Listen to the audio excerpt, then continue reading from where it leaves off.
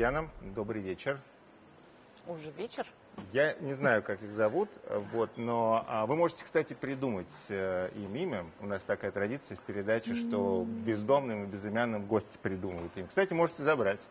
Нет? Я недавно завела собаку, поэтому боюсь, Ну что... вот все так говорят. А какую собаку? Дворняжку мы взяли из приюта. Мгм. Это Вот тоже это- приютский, да? Ну, считайте, что да, то есть их, их надо пристроить. А- Они бездомные, так Ну, скажем. То есть вот им сейчас есть где перебиться у нас очень, студии, а очень потом... прям спокойные, ласковые собаки. Маленькие, спокойные, ласковые, вы же знаете. У вас, у вас, у вас же трое, Трое не кошек, заметьте, да. а детей. Вот, но вы же помните, что маленькие, они спокойные, ласковые. Младшая в школу пошла, я вас ЖЖ читаю. Да, да, да. Узнал, что пошла в школу.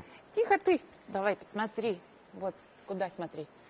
У нас камеры повсюду, поэтому вы можете в любом на направлении животное киска. разворачивать. Еще я из э, вашего ЖЖ знаю, что с вами, если вот употреблять прям вашу лексику, подло поступил один канал. Который Прям. мы не можем называть, да? Ну, нет, К сожалению. нет, я не могу. Вы можете все что угодно, вы гость. Вот, но просто э, что за подлость и что случилось О, вы знаете, сейчас, слава богу, все гораздо стало лучше в жизни, потому что передачу этому ребенку, которую закрыли на одном канале, Так. не будем его называть, Ну, он не подлый, стоит он того. подлый, да. Вот, эту передачу э, взяли и будут показывать на другом канале, который называется Дисней. Ага. Передача по-прежнему называется «Это мой ребенок». Только, по-моему, теперь она с восклицательным или вопросительным знаком. Ага. Но как бы мне это очень приятно, не потому что я все-таки не осталась без работы, а действительно, в общем, все к этому шло, а потому что это действительно очень хорошая такая передача. Их сейчас очень мало, которая вот Хорошая ради- передача? детских, э, детских с роди- когда родители с детьми. Вот как бы когда мы видим общение родителей с детьми, когда мы видим, что это вообще не только возможно, но и необходимо, и что на детей нужно э, обращать внимание, более того, их нужно там уважать их интересы и всячески вообще, да, поддерживать. Ах ты, Клюшка. О, прекрасное его- имя, Клюшка. его. Нет, у меня котик. Сейчас придумаем тебе имя. Так, Да, и вот. а, эта передача ежедневная? Нет, это выходной формат. Она будет выходить э, в воскресенье в час Ага. дня, как раз когда все дети вместе с родителями могут провести это время. А на самом деле я считаю, что обязательно нужно ее смотреть вместе с детьми, потому что очень многие родители, которые приходят сниматься в эту программу, Опс. летающая кошка, смотрите. Очень многие родители действительно для себя узнают много нового про своих детей. И, собственно, те, кто смотрит эту передачу, они тоже, мне, я очень надеюсь, они тоже загораются таким же интересом, может быть, чуть-чуть больше к своим детям, что, безусловно, сейчас очень важно. У вас трое. Младший 7, старший 17. Старшему 18, средний 18. 15. Ага. А что они смотрят? Они телевизор уже не смотрят, как и я. У нас телевизор смотрит только Михаил, наш папа и муж, и то только футбол. Ага. и теннис, и всякие там спортивные мероприятия. Вот. Они смотрят все, что нужно уже в интернете, э, сериалы, передачи, какие-то Ну, то есть они повторы. телевизионный продукт смотрят просто не Да-да-да, по телевизору, да. а с экрана компьютера. Да. Ну, Такие а вот. хорошо, телевизионный продукт какой? Они, допустим, родители, они смотрят то, что вы с Шацем делаете, они... Вот в- вы знаете, меня даже что-то прилипло. А, Они никогда этим не гордились, это даже как-то было немножечко обидно, но они совершенно индифферентно относились с самого детства, что один, что другая, что третья, в общем-то, к тому, что мы с Михаилом там где-то появляемся на экране. И даже более того, когда у них, вот у старших, когда у них появилась возможность появляться в каких-то там местах без нас, то они предпочитают это для начала делать как бы инкогнито. То есть они не кричат сразу, что вот, там мои родители такие сики, потом уже, когда это просачивается информация, они, конечно, сдаются и говорят «да». А так, и мне очень радостно, что они, в общем, так Ну, спокойно а, а относятся. фамилии-то они Шацы? Или Шатцы, они половина слэш шатцев, две трети шатцев, одна треть лазаревых. А, ну да, старше вас от, от- от другого брака. 19 числа вы едете в Питер э, на какой-то фестиваль, да? Я, я, так, я прочитал, да? Нет, вы, вы Я- даже не в курсе. Вот я вам сообщаю, Это что вы не в 19 курсе. числа у вас Да-да-да, в, нет. в рамках фестиваля какая-то благотворительная акция э, какого-то фонда. Ох, ох, ох, Вы не в курсе? Нет, я-то в курсе, а то, что вы не в курсе, это, конечно, не очень хорошо. С удовольствием расскажу вам. А, 19 октября я еду в Питер, там будет фестиваль э, библиотек. Я не очень к этому имею большое отношение, меня просто под- под- предложили поддержать это и там провести такое чтение с детьми Мгм. А, какой-то сказки, и там будет мой творческий такой час, где я буду отвечать на вопросы. К благотворительности это имеет отношение только постольку, поскольку я это делаю бесплатно, в общем. Мгм. А вы многое делаете бесплатно? Э, Да, многое. Не, ну просто вы как-то проакцентировали, и я сразу подумал, что вдруг все остальное как бы только, только за деньги, поэтому... Нет, почему? Я очень много делаю бесплатно, и очень много связано с благотворительностью в том числе. Мгм. А вот эм, никогда вы не задумались, что, ну вот имидж вас девушки из КВН, девушки из ОСП-студии, ну то есть вот comedy woman, как сейчас принято говорить, и благотворительность, вот так они как не очень коррелируют. Нет? Ва- Вам, то есть вы считаете это нормальным? А вы, судя по всему, нет. Нет, я, э, нет, я-то вообще, у меня вообще нет никакого мнения. То есть оно у меня есть, но если им слишком дор- дорожу, чтобы делиться. Поэтому Со мной. я проще Спасибо, делаю с- с, миллионами. Я Поэтому я просто в. Фейсбуке говорю, с кем я встречаюсь, и мне накидывают вопросы. а Я их просто транслирую. Очень Прикра- удобно. очень Никакой удобно. ответственности абсолютно. Получаете за это деньги, да? Да, отличие кстати, немалые. Ну что ж, прекрасно. Тогда давайте вы мне будете читать вопросы из Фейсбука, а я на них буду отвечать. давайте я вам воспроизведу. Хотя у меня, в принципе, тоже есть Фейсбук, и я могла бы не тратить время, не приходить сюда, и отвечать прямо там на вопросы. Все-таки у, у нас эфир больше, чем... Вы же так же, как я, ограничены числом подписчиков. Сколько у вас? Пять тысяч. А у меня 140. А, то есть у вас, вы- у вас на У меня, страничку. у боюсь, вас- что больше, чем у вашей передачи, нет? А, что, а у нас передачи даже, по-моему, не- а нет, у нас есть страничка, я просто не слежу, сколько там подписчиков. Но это хорошо тогда. Это было бы странно, если бы у нас у гостей было бы меньше а, подписчиков, чем у нас самих. Тогда бы это было совершенно неосмысленно. Действительно, Вот. тогда бы мы остались без ведущих. Да, кажется. тогда а, скажите мне, а, Да. Татьяна, вот существует такой тезис, что в принципе не женское дело вообще смешить. Что, И а, благотворительностью тоже заниматься, судя по всему. Нет, благотворительность как раз наоборот. Я, я считаю, вот это уже действительно мое мнение. а, Это, ну, это серьезный просто вопрос, мы к нему вернемся. Сейчас вот просто о профессии. А Вы считаете, почему так сложилось такое мнение, что женщины могут смеяться, они могут э, смешить, но они не могут генерировать вот э, смешное, то есть вот писать сценарии, допустим, смешных фильмов. И действительно, если мы посмотрим на стендап-комедиан, в общем, женщин там, ну, мы про, Про авторов про мировую э, отрасль говорим. И про, и про авторов, сценаристов, про тех, кто исполняет, значительно меньше, чем мужчин. Это что? Это заговор сексистов? Мужчин? Да, это, не знаю, заговор там кровавой гибни, гибни сионистов. Почему так сложилось? Ну, это совершенно понятно, по- вполне объяснимо, что э, женщинам вообще не свойственно, э, им не хочется никогда быть смешной, и поэтому это очень сложно, поэтому все те единицы, которые в этом жанре все-таки появляются, это скорее исключение из правил, конечно же.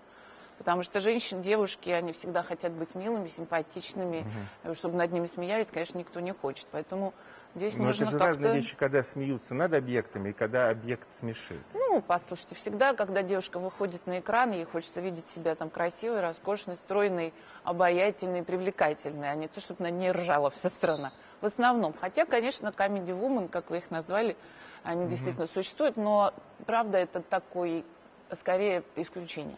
То есть вы считаете, что это никак не связано, условно говоря, с какими-то ну, биологическими аспектами, что в принципе вы, женщины, устроены так же, как мы, мужчины, вот в этом смысле, и просто вот э, вы не хотите быть смешными, а мы хотим. Ну, не знаю, мужчин по-настоящему смешных тоже не так много, но, по крайней мере, они меньше этого боятся, мне кажется, и стесняются, потому что действительно для девушки, чтобы вот органично, чтобы над ней смеялись, э, их всегда было мало, и в КВН, в общем, было мало таких. Было, было четкое разделение на каких-то там э, девочек, которые просто произносили реплики и были симпатичными, да, которым давали там какие-то смешные слова. Вот. И, а были те, которые могли действительно произнести шутку. Ну и, собственно, таких не так уж и много было девиц. Ну, произнести, Ну и вообще произнести характерные шутку роли. и симпровизировать, и э, породить шутку, это ведь разные вещи. Естественно, а в КВН не было импровизации практически никогда только. Если В мы сейчас КВН говорим не о КВН. импровизации. Ну, конечно, там только была разминка, и это была импровизация. и всё. Мне казалось, что в том в КВН, в котором ну, вы начинали, вот, ну, в КВН Вы того сейчас образца. 60-е имеете в виду? Ну, нет, я, я- я имею в виду, я имею в виду тот, КВН, ко- который, э, ну, там, я, условно говоря, смотрел, в котором вы, вы начинали. То есть- Э, то, это был, э, на самом деле, КВН импровизации, мне казалось. Вы знаете, два было конкурса, которые были полностью импровизацией на сцене. Это был конкурс «Разминка», когда команды задавали друг другу вопросы. И был конкурс «Капитанский», а, тоже импровизационный, но он ушел достаточно быстро, его не было. А остальное все были, разумеется, отрепетированные подготовленные номера. Ну, а хорошо, когда вы... э, Многие считают, что просто и у вас, и у Михаила, супруг вашего «Звездный час» — это ОСП-студия. Ну, как бы существует такое мнение. Поверье. Да, поверье, да, такое в народе. А, разве вы не импровизировали в ходе съемок? Разве Мы же говорим сейчас об ОСП-студии или о КВН. Про КВН я все понял уже. Вы мне про КВН все объяснили. Прекрасно. Поэтому я сейчас перешел Переходим к, к следующему. студии. Да. Потому что, опять же, молва утверждала, что якобы там очень большой элемент импровизации был. Там была одна рубрика, которая называлась «10 минут в прямом эфире с». Она была абсолютно импровизационной, конечно. Она не готовилась, человек приходил, какая-то знаменитость приходила, и мы с ней шутили сходу с колес. Это была импровизация. Но другие все остальные рубрики были написаны заранее, отрепетированы, там был грим, это же были пародии. Пародия – это достаточно такой сложный жанр, который должен быть готов, подготовлен. Это не ваш любимый жанр? Что еще вам рассказать? Ну, почему? Пародия. А, Потому что по какой-то жанр говорят, что он сложный, это я сразу презумпцию допускаю того, что он не, не самый любимый. Потому что что сложно, очень трудно любить, мне кажется.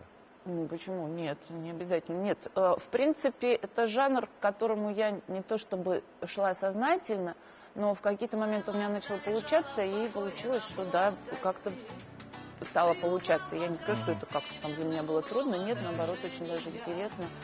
И эти, эти все пародии порой просто, когда ты видишь себя в зеркале в гриме там, ты понимаешь, что ты очень похожа на Аллу Борисовну Пугачеву, что, в общем, вряд ли сейчас еще пока можно поверить в это то это действительно это очень интересно, и как-то ты стараешься... Нет, это очень интересно были пародии, но, конечно, когда ты пародируешь что-то такое, какую-то там глыбу, потому что как-то потом, когда ОСП-студия уже стала, как раз благодаря тому, что не, стало некого пародировать, все как-то стали очень такими серыми, одинаковыми, как песок. Да, вы Да. считаете, что у нас сейчас нет объектов для пародии сейчас?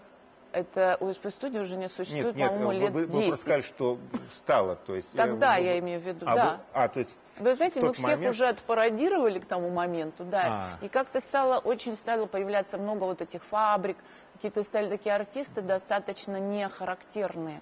А когда у тебя нет общего какого-то такого масштабного героя, то как можно спародировать, не знаю, кошку? А вы считаете, что кошку сложно, да, Незнакомую, тем более. То есть должны быть какие-то характерные черты, которые люди знают, кроме тебя, все остальные тоже. Да, поэтому тогда он, угадывается, этот портрет. А Знаете, вот здесь на днях беседовал с Пьером Ришаром, его почему-то огорчил э, этот вопрос. Я надеюсь, что он вас не огорчит. Вопрос вот какой.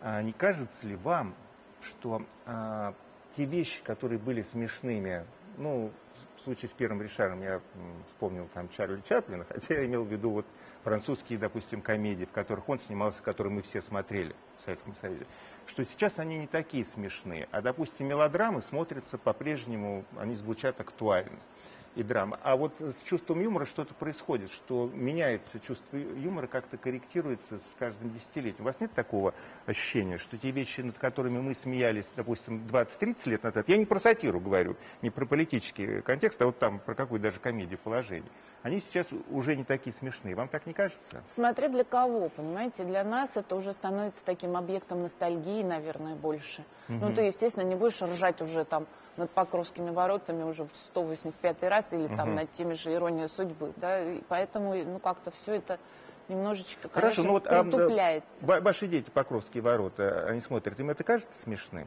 Вы знаете, тоже, наверное, не, не совсем так и не совсем то. И э, я не знаю, э, как бы сложно сказать, изменился ли юмор, и стало ли это все смешнее или не смешнее. Но, э, по крайней мере, то, что смотрят мои дети, над чем они смеются, мне зачастую тоже очень смешно. И мы с ними смеемся над одним и тем же. А что касается старых фильмов, здесь, может быть, играет роль то, что, то, что они все-таки другой, э, другого темпоритма, они как бы такие... Это уже детям сейчас современным очень сложно смотреть, они должны там погрузиться. Хотя на самом деле они у меня очень любят необыкновенные приключения Шурика и большие гонки мы с ними смотрели, все хохотали. Кем будут ваши дети, как вы себе? Без понятия. Я, к Вы сожалению... вообще вы не задумываетесь о том, пойдут ли они в шоу-бизнес или нет? Ну, с таким же успехом они могут пойти в, в архитектуру, мне кажется. Почему они Ну, должны идти в ну, шоу? Ну, все-таки родители у них э, из, из отрасли, они видят хорошо это и- или плохо, думают, что все-таки видят хорошо плюсы м, этого ремесла. Ну, Я не, не знаю. На самом деле, это мне совершенно не кажется таким прям уж очевидным, что все дети должны идти в ту же самую отрасль. У вас родители более, были что- учителя, преподаватели оба, да, Да, насколько я и понимаю? есть до сих пор, да. А до сих пор работают и преподают? Да, папа Ага. совсем недавно ушел, но ему 80 лет уже будет скоро. Мгм, А мама еще преподает. мгм, А, поэтому я как-то на своем примере не могу сказать, что мгм. поддерживаю как-то династию семейную. Вот. А что касается шоу-бизнеса и вообще даже не шоу-бизнеса, а выбора какой-то там профессии для детей, это их личное дело. И тем более, что им сейчас одной 15, другому 18. И мне кажется, в этом возрасте люди еще не в состоянии принять четкое решение, если они, конечно, не какие-то там физики, ядерщики в душе и сразу, и все понятно, что там вот, вот у него там что-то в голове. То есть вы Нет, 17 они лет обычные. не думали о том, чем вы будете заниматься? Вы знаете, я думала, возможно, но я поступила в пединститут, когда мне было 17 Опять лет. же, то есть вы пошли по стопам Да, но я его не закончила, и, в общем, Ага. это было достаточно не нужно. И я совершенно уверена, что в 17-18 лет, ну, по крайней мере, мой ребенок, которого я знаю уже 18 лет, он еще пока, мальчик я имею, он достаточно инфантильный для того, чтобы сейчас пойти и сказать, все, я буду м, флористом. Или кем там сейчас люди, да, хотят работать. Они же не хотят работать учителями, врачами, там, ну, врачами еще более-менее. Они Ну, хотят быть топ-менеджерами среднего звена. Естественно, потому что они э, мотивированы на деньги, потому что сейчас такое время, мы живем в совершенно других условиях. Мы с вами учились там, и, и, ну, вы, вы значительно младше, но все равно вы, кстати, тоже рождены в СССР, правильно? Да. А, когда, в общем, деньги не играют такую роль, которую они играют сейчас. Сейчас вы там за один корпоратив с супругом получаете, там, я так предполагаю, столько, сколько ваши родители за год заработают вдвоем. А, поэтому э, вот, э- вот эти аспекты нельзя не учитывать тоже. Поэтому я думаю, что они не хотят быть учителями, врачами, а, потому что они знают э, про врачей, опять же, из сериалов. Ну а, вот, которые- кстати, вот это отдельный вопрос по поводу того, что сейчас очень много детей после сериалов врачебных ринулись почему-то, думают, что это все так смешно, весело.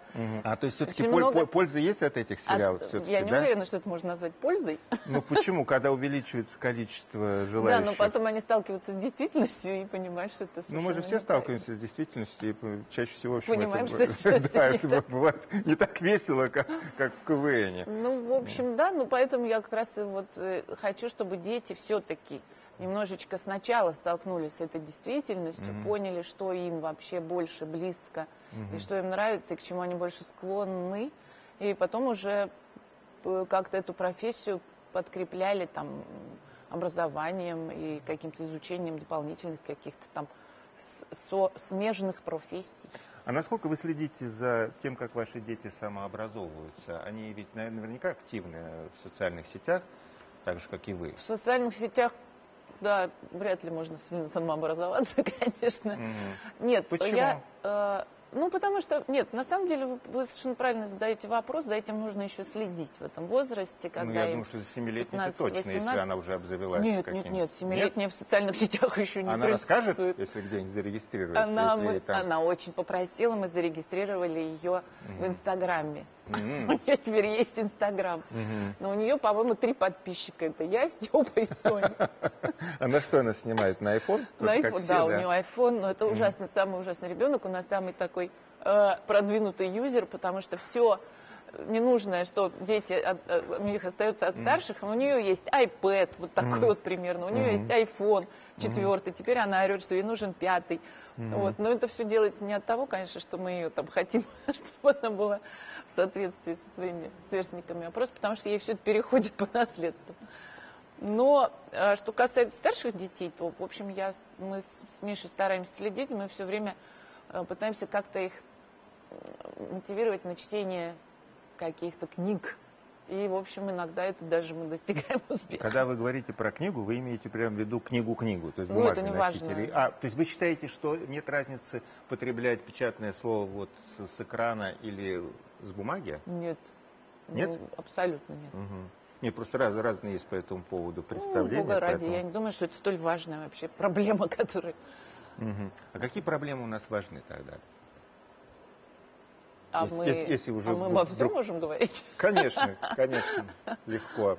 А, ну, я не знаю, честно говоря. Много есть всяческих проблем. Вы же ведущий, спрашивайте. Я буду спрашивать то, о чем в Фейсбуке просят спросить. У вас завистники есть или завистницы? Не знаю. То есть Следующий вы, вопрос. Вы, вы не, вы- вы не сталкивались с таким, да? Не очень обращаюсь. Следующий вопрос это моего коллеги с э, канала Россия-24. Я его все-таки как-то так э, перефразирую. А А что, вот. какой-то А, необычный? А? Необычный? Ну, а, он, да, наверное, необычный все-таки. Давайте я так скажу. эм, Почему вы бываете резкой? Вот так скажем. Я вот такой А там что написано? Хамоватый? Да, вы прочитали, да? Нет. Догадываюсь. Давайте это будет А последним что, вы считаете, люди не могут быть резкими? Или даже иногда А, хамоватыми? Они не бывают резкими и на, на ровном месте. Всегда есть причина. Почему? Потому что человечек приходит в мир, вот он, вот такой вот, вот. То есть ему, Человечек. да, ну они же тоже человечки.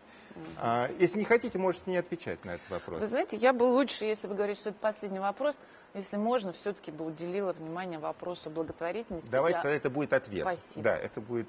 Пусть это будет ответ. Ответ, Он будет да. не резким и не хамоватым. Попросите Да. прощения у вашего коллеги. Да. А у нас одна минута.